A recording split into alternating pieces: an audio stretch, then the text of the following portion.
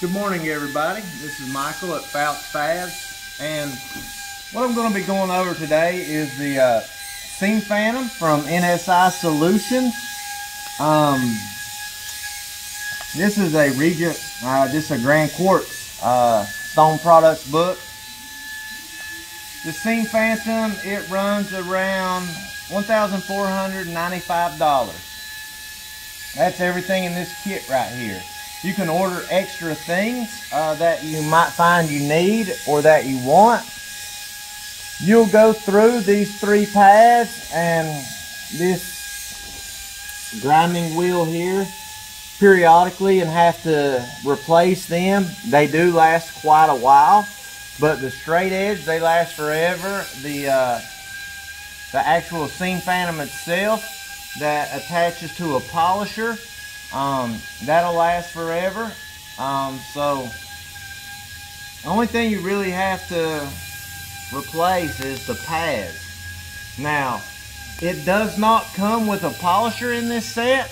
So depending on what type of polisher you buy, you're looking at another anywhere from two to four hundred dollars for a polisher. So I would say you're looking at a polisher and the Seam Phantom kit around $2,000. Um, that, in my opinion, is a cheap price to pay for what it does. I'm going to show you right here on a couple pieces we have in our showroom of what the Seam Phantom finished product looks like. And uh, then we'll go into showing you how it's done. So we've got these uh, little samples labeled. Seam Phantom, no Seam Phantom. And this is for our customers so we can show them the difference. When a top comes off of our wet saw back there, it does a good job of putting a little cut on it uh, without any chips or anything like that.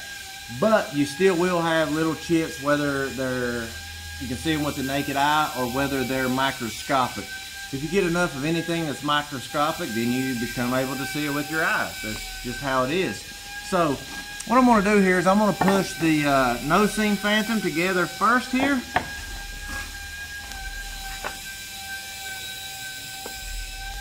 And if you see it, that's your seam with your no seam phantom. Of course, on the job site, when you put it together, we'll be putting a two-part epoxy with a color pigment in there. But you can see the little chips and uh, how it looks light there. Um, it's not really dark.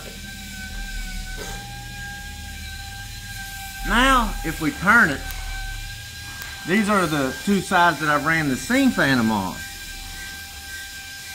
And if you push those together, that's what it looks like after the seam phantom has been ran on it. Nothing else done to it, just the seam phantom ran on this one and not on this one. So you can see you don't have all those little chips up and down it. It looks darker when you look into it. And we're still going to be putting our two-part epoxy and a color pigment in there. So once you do that, if you do a good job leveling your seam, you're money out there. Now just so you can see what it looks like on this side, what the Seam Phantom does, it routes this bottom side out. In a perfect world, that'll be anywhere from a 16th to a 32nd inverted. Whereas this, this outer edge here would be an inch to a 16th of an inch to a 32nd of an inch out further. What that does, it makes sure this area here always touches before this area here does. If your bottom touched before your top, that would cause a gap to be in the top of your seam, which would make it more visible to customers. If you look at the one that we did not run the seam phantom on, it's just flat. Like I said, our saw does do a nice job of cutting uh, nice straight edges um, but you'll have some shops that don't have a really good saw. And this cut right here won't be 90 degrees up and down. It'll be at an angle and the bottom will stick out further than the top. And then you have a bad seam. So here, we've always been a shop that focuses on quality over quantity. Anything that goes out the door, we try to do it 100% to the best of our ability. I don't think any shop could call themselves a professional shop and not have a seam phantom in operation. If a shop lets any seam roll out their front door that does not have the seam phantom ran on it, they cannot call themselves a professional shop. it's day and night different when you get out there on a job site with a seam that's had a seam phantom run on it and one that has not. I had bought all these equipment as I'd make profit from each job. The first job I installed and made any profit on, that was the tool I bought. I did one job when I opened this company without a seam phantom, and that was the first job I did. Ever since then, I've had a seam phantom. The second piece of equipment I bought was the Gorilla Grip, which is like the husband or wife to the seam phantom. It's out on the job site and it opens, but I promised I wasn't gonna get off on other stuff. I'm gonna stick to the seam phantom, but uh, just know, I think every shop must to compete in today's market and give customers what they are looking for in terms of quality, you have to have a seam phantom in your shop. If you're going to charge top dollars for your job, your material, your installation, you cannot do it without having a seam phantom. That's just how it is. So, like I was telling you, all the components that come to the seam come with the seam phantom. Um, that's our straight edge that we'll be clipping here. I'll show you that. Uh, all these are our measuring device. I'll explain that to you. These two little C-clamps here, which is used to clamp your straight edge to it. You have your actual seam phantom, which is this here. Um, blow it off just It's this apparatus here and this part right here. Um, your grinding wheel, it's all the snail lock system, the pads as well. And then of course you have to buy your polisher uh, separately. And then you just hook it up. You have to have air line and water lines to use this. I actually think they do sell one of these that will hook to a Makita grinder. Um, I have not used that one, so I can't comment on it. I would think it worked just as good as this one. Uh, they make a good product. Um, and, and, while we're on that subject, uh, NSI has in no way sponsored me. They haven't sent us any t-shirts, any nothing, no stickers, no nothing. So everything I'm saying, I'm saying because it is what it is. I I give credit where it's due, and if it's a crappy product, I'll let you know about that too. But uh, this is a good product and I'm not doing it because they've asked me to. Um, so that's all your components to this seam fan. Now I have purchased a second straight edge. As you can see, it's quite a bit longer than the original one that comes with it. And they even sell a longer one. Well, the reason I have this, sometimes you'll have a large island that takes like two slabs to do and you've got a 60 inch seam. I think, I don't remember how long this one is, but uh, you know, say you have a 40 some inch seam. Normal seam, you know, is what, 20, 25 inches, 25 and a half inches. So you'll have them 50 inches. You can have them as long as the customer wants them um, or has to have them. So I bought this so we could do the seams and still make them perfectly straight on a longer seam. But also, what you can do with this, say you have a new guy in here and uh, he's polishing a very soft stone. Say he dips a piece out in it. You've got a hump in it. Or he messes up the profile edge. So what you can do is you can hook this to it.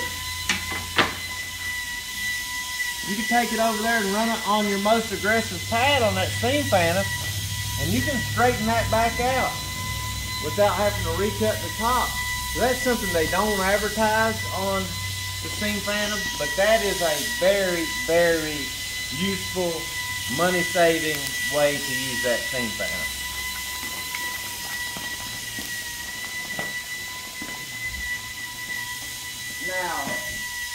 In their video, and it's been a long time since I watched it, they start out showing you how to use this on it. I do not use this. I'm sorry, but I tell it how it is. This thing, especially if it's on a softer material or a marble or something, it will chip the top out. It was used on this one. You can see how uniform it is right here. But you can see you got what?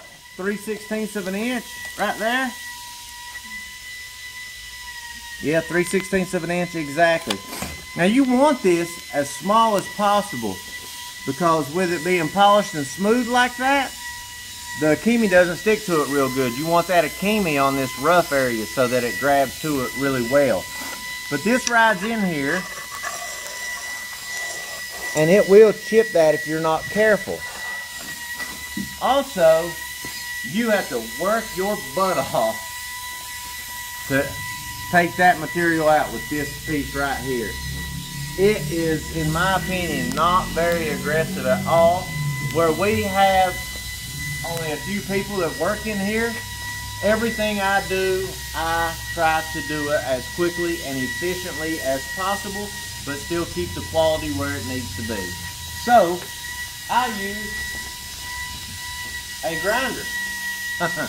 and I'm gonna go turn the air fan on so we don't have dust in here. And I'm gonna grind this and then I'll turn it back off so you guys can hear me. But I wanna show you how I do it. I always cut little biscuit grooves in mine and then I'll grind it with the grinder. I'm gonna push it out here a little bit so Gary can uh, see this. So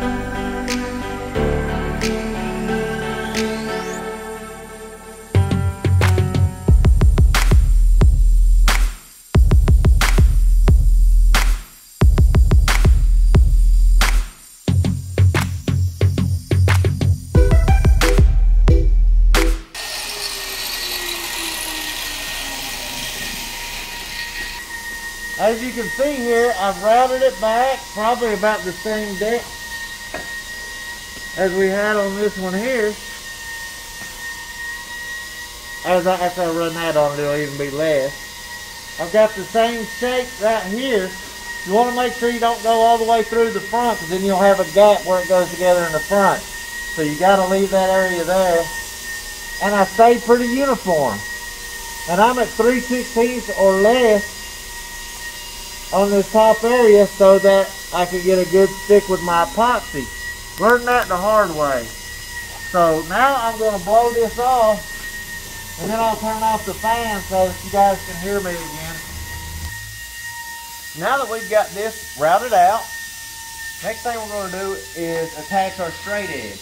And like I was telling you earlier, all these are, are measuring devices. This right here is basically a measuring tape. So we're going to pull this over. We'll pull this over. And what you want is that to be perfectly flush with that edge.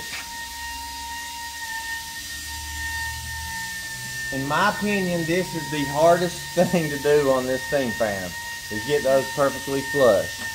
So now we're going to attach these to it. Some people put them on like this, but when you run that, you end up hitting your knuckles on this. So I recommend everybody flips them upside down. That way they do not hit their knuckles.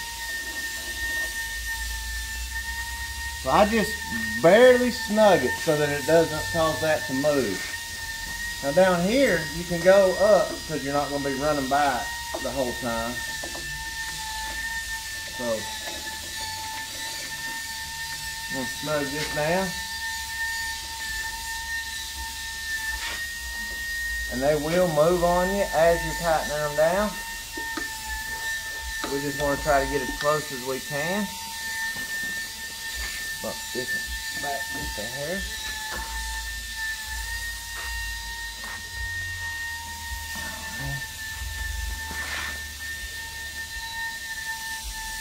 I am pretty daggone close to dead on here. I'm a little bit behind it on both of them, but they're pretty equal, so I'm gonna leave it at that. I'm within a 30 second at least. So now that we've got that, we're gonna take these off.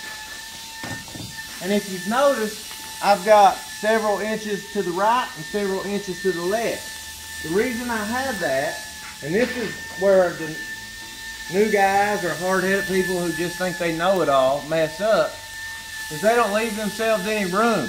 When you run this, you gotta go all the way across and all the way across every time.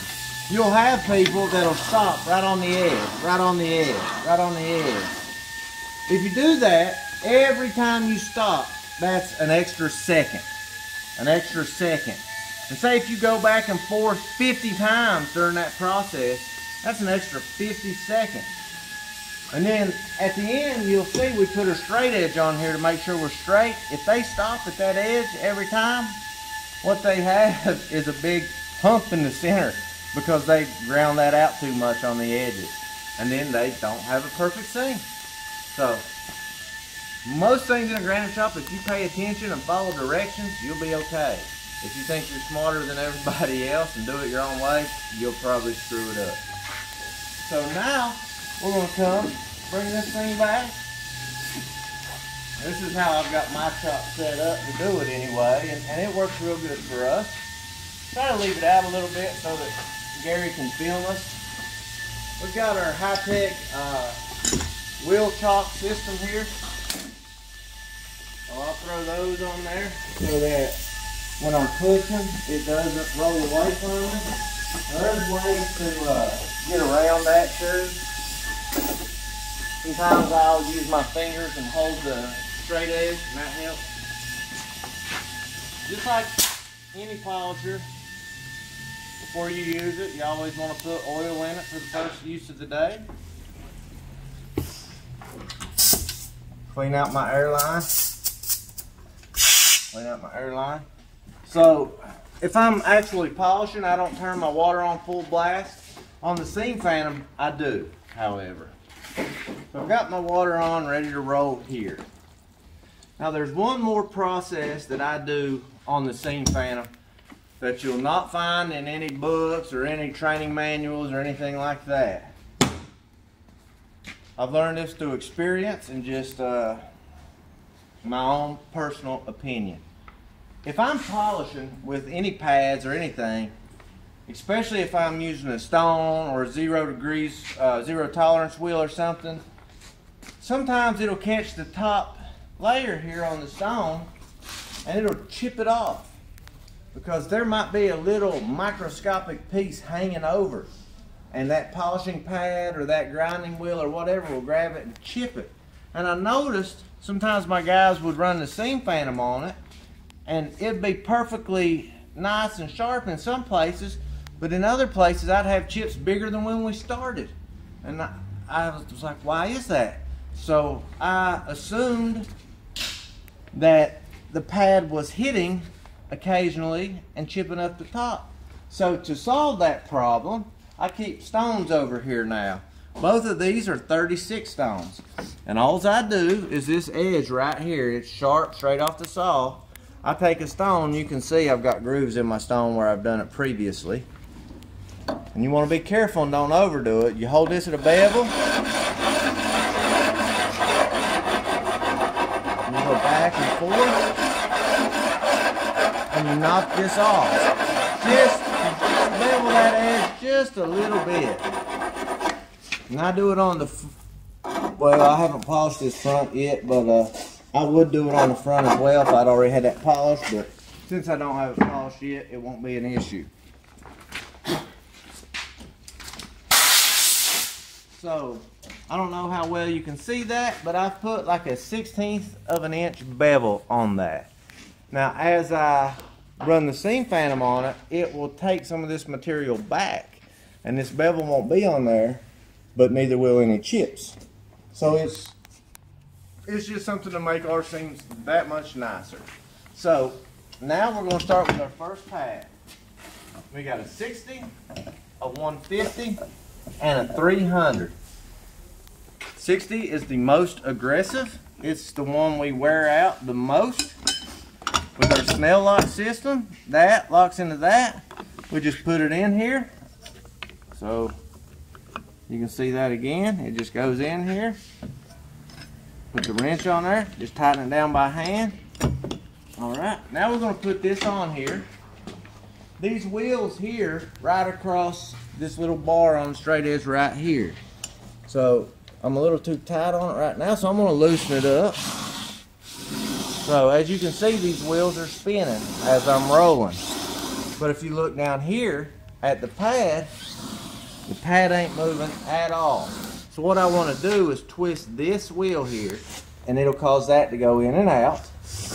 I want to twist that to where it's barely touching that. I twist it, still not touching. Still not touching. Still not touching. Still not touching. I can hear it starting to touch. See how that wheel's moving now? That's where I want to be when I start polishing with the seam fan. So, this little lever right here, it turns your water on and off. So I turn that water on full blast. That's what you got. And that's going to run against this while I'm polishing. So this lever here is going to turn our air on. This grinder or this polisher I bought, it's not my favorite polisher. It takes a little while to warm up, but uh, it'll get there. You'll hear it. So I'm going to go ahead and start with this first pad.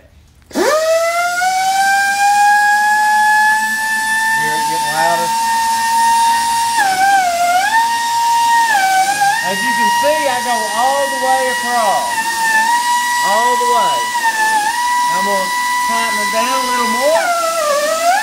About a quarter turn every time I tighten it down.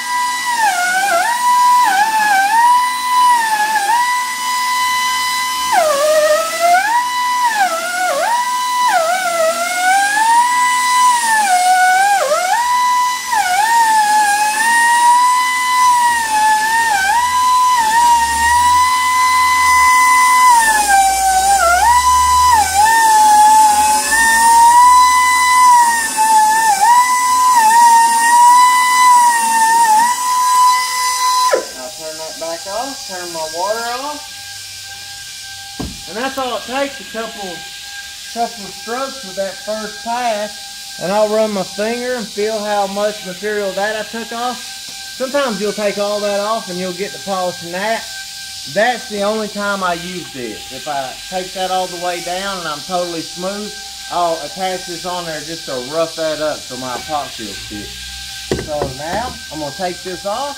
It's real easy. You just put your wrench on there, give it a little twist, pop it off, Go to my next pad. Tighten it down, you're good to go. You're gonna do the same thing. You're gonna find that point where that barely runs. And since those are about the same thickness and use, it's usually right there at it. Now we'll have to do some changing when I get to the 300. So I'm gonna turn my water back on full blast. Air power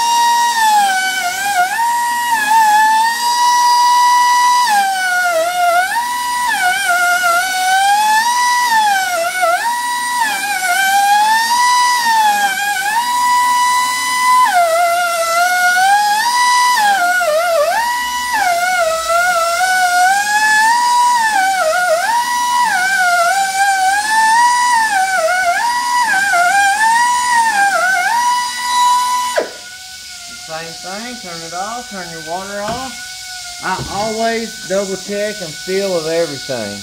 To me, feeling really helps me see where I'm at. Alright, I can see I'm starting to smooth out here. but I haven't totally got it down too smooth. Now this 300 pad, it don't take a whole lot of material off. It basically just finish shines it up. I have had people come to work for me from other companies, and they say they only use the first pad or something. I don't agree with that. This is how I like to do it. I like to use all the pads. Pop that back on. You can see this pad here is a lot thicker than these. And I've already replaced these previously. But this is just a polishing pad. It's just like your 3000 and your 1500 on your polishing pad. You just don't use it. You use it every time, but you're not really working it. So you're not eating that pad up. So now you'll see I'm going to have to adjust this back because we're hitting here. Because that pad's so much thicker. So we're just going to back this off. Now I'm where I want to be to just barely cut. Turn my water on. put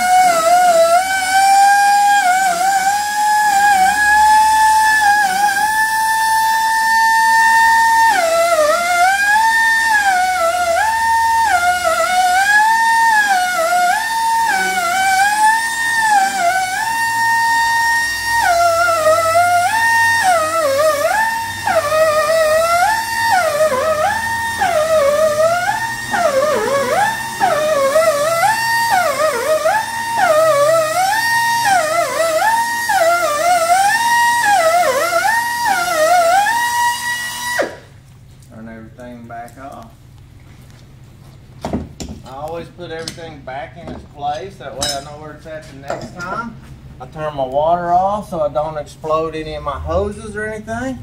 So, like I said, I always feel of everything.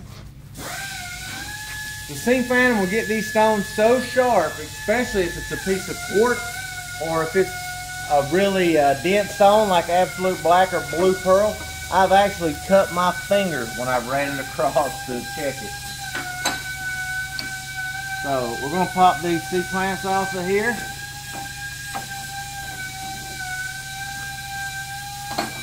Now, the first thing you should do when you take those off is you want to put this straight edge on this seam and make sure that you've got it straight.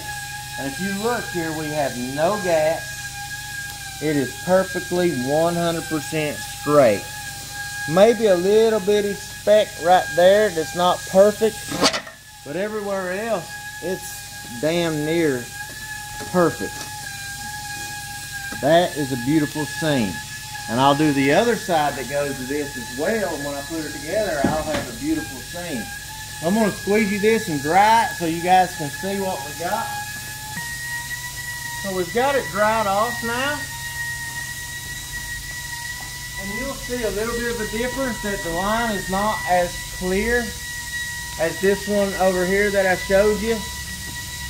The main reason that is, if you remember I told you in a perfect world this would only be like a 30 second sticking out. This one here I wanted the customers to be able to see a good detail of what that Seam Phantom does. So I wanted this to really stick out. That's why we routed it like that and did it. Um, this one here is actually going to be used so I wanted this to stick out just as little as possible. So we're maybe the 30 second. There's even places I, have almost got it smooth. In those situations, if it is a little smooth, you can you can put this bit back on there and run it if you really got out of control and smoothed it. But if you've got just a little area like that, all you gotta do is just take a stone, just rough it up a little bit. That way your epoxy sticks to it real good. That's that's the only thing you have to worry about, your epoxy sticking real good. So, I would say this is about as close to perfect as you can get. We still got our biscuits cut in here. Now what that's going to do when I put my epoxy in there on both sides and squeeze it together, that epoxy is going to squeeze into this one on this side and on the other side of the seam, I'll have these little biscuit holes too, and it'll squeeze into it and it will harden up and it'll keep that seam from ever moving up or down. Um, it they they really make a difference in the seam. Um, if you ever had to break one of countertop king seams apart, you probably call them customer because you're gonna have a job ahead of you. Um, So we got a nice clean edge that'll probably cut you. Um, we've got the seam phantom routed back perfect, about a 30 second. We've got our biscuit holes and uh, we're good to go. All we gotta do is do the other side and then when we get to the job site, do a good job putting it together and leveling it. Um, like I said earlier, I think every professional shop needs one of these seam phantoms. Uh, at $2,000, it's not gonna break the bank, but it's gonna put you on par with the best of the best in the granite world. So, uh, I really do appreciate you guys watching. We just started another channel. It's called uh, Fresh Air with Fouch. It's what Melissa and I do when we're not in here breathing dust. So check that out if you get a chance. And uh, yeah, if you have any questions about the Seam Phantom or anything, just you know put a comment. Gary or I one will get to you and answer it just as fast as we can. And uh, I'll see you guys on the next one.